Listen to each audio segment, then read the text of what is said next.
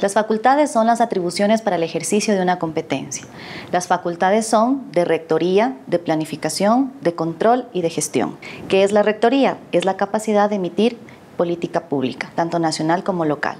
¿Qué es la planificación? Es la facultad de planificar tanto desde el gobierno central como de los gobiernos autónomos descentralizados.